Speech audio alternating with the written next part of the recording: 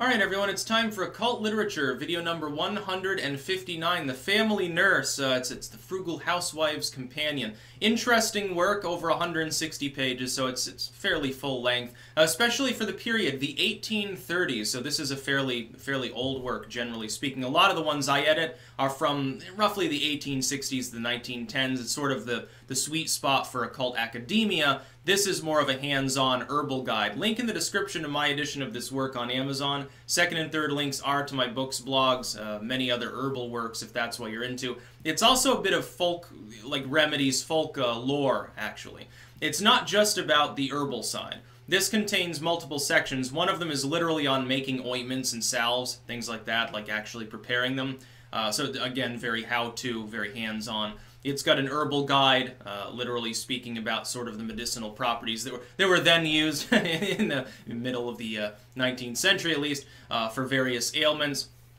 Actually, gives a piece of advice fairly early on, which is hilarious, where it's like, oh, yeah, the safest place in your house is away from windows and the chimney during a lightning storm. it's like, you know, back then this was considered like like uh, uh, interesting lore. Now it's like, well, yeah, you stay away from the window during a, a thunderstorm. It's a good idea. It's actually very funny. Uh, and there are other things in it as well. It speaks of poisons, both mineral and external. Um, it speaks of very, it, it, talks a lot about laudanum for obvious reasons. And it's actually funny because for the most part it talks about alcohol. It's like don't use alcohol, uh, don't add it to this. You know, you're giving it to your kids. They can acquire a taste for it to be bad. But then it says, oh yeah, if the patient's in discomfort, you can add a little gin to it. it's okay. It's like, how much is a little? Like two shots, three shots?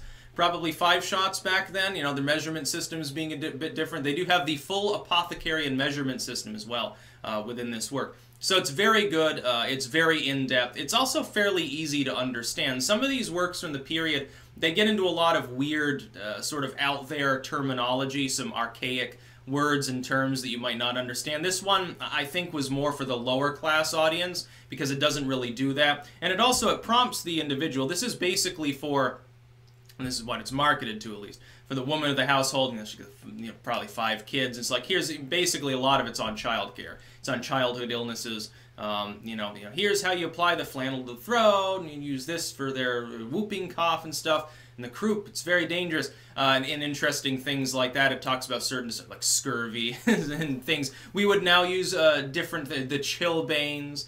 Uh, here's how you uh, deal with your gout. Here's how you deal with the rickets.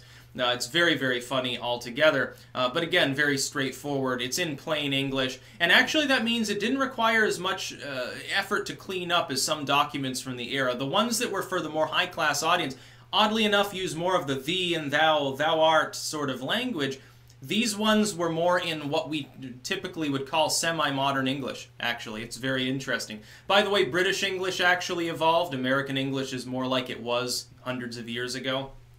Actually more similar in many linguistic ways. A lot of people think that it's the other way around. They go, oh, the Americans diverged and, and their English degenerated. Actually, the, the more semi-formal types of English you find in New England and places like that, more similar to how, if you went back 300 years to, to Great Britain, people would talk more like I'm talking right now than many of the people that are in Great Britain right now. Very interesting thing to think about. But an excellent herbal work. This is right up there with the Canadian herbal as far as its sort of its sort of length, its scope, ease of understanding.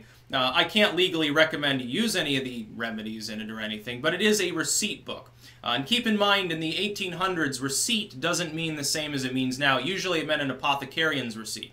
Literally, here's how you make this poultice. Here's how you make this ointment. Here's a, a receipt, a list of ingredients to get, to purchase, or that you have gotten from the apothecary, uh, or you've had them mix it up. Uh, and also uh, culinary material. There is a culinary section here, food for invalids you know, here's how to make oatmeal and barley water and, and some of these other interesting things. Also, sugar was considered medicinal back then. West India molasses appears dozens of times in this uh, because back then it was not widely available and used. It was actually originally a medicinal substance developed in Arabia.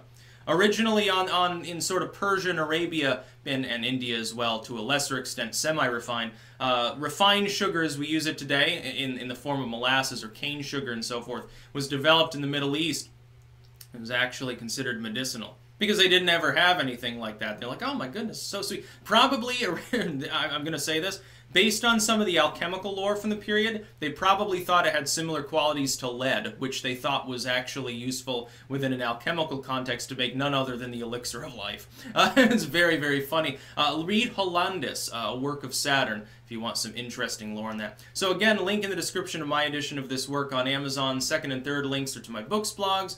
That's about all. Peace out.